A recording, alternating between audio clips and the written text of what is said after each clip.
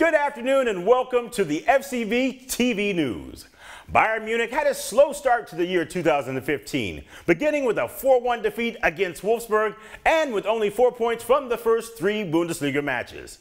But now, the trend is clearly Bayern's friend, following an impressive string of recent results. Last Saturday, Bayern beat Hamburg by eight goals to nothing. During the week, Pep Guardiola's team recorded a nil-nil draw against Donetsk in the first leg of the Champions League round of 16, and now Bayern beat Paderborn 6-0 away from home. The scoring machine is back on track, and maybe more importantly, Bayern has rediscovered its defensive strength, which is in part due to the return of one important man from injury, Holger Badstuber.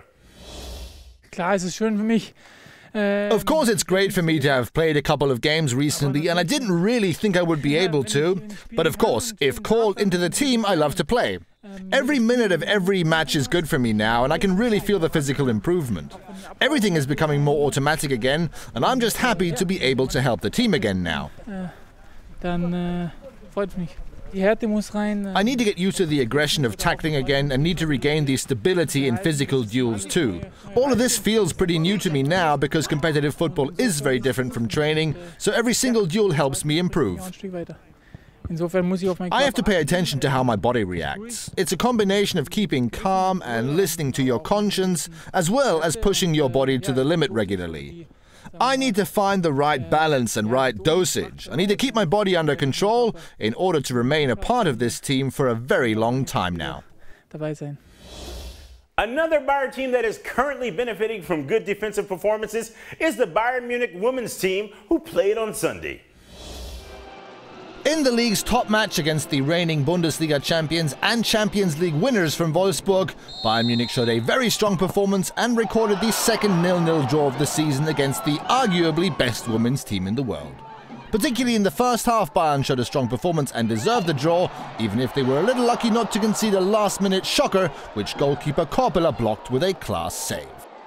Ganz sicher mit dem Punkt äh, sehr gut leben. We can more than live with this point. We knew we would play an extremely strong team today. Wolfsburg are reigning Champions League winners and Bundesliga champions and won many titles in the past two years.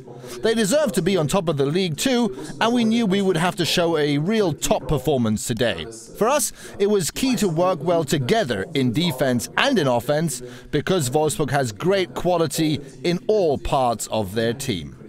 They simply have an outstanding squad, and today was a very intense, hard fought match from minute 1 to minute 90. Das ist ein sehr, sehr umkämpftes Spiel war heute. Es wurde so intensiv gearbeitet, ja, von der ersten bis zur letzten Minute. More good news comes for supporters who are in immediate and desperate need of Bayern Munich merchandise. To celebrate the 115th birthday of your favorite football club on February 27th, the current home shirt is now available for purchase in Bayern Munich's online fan shop at a 30% discount.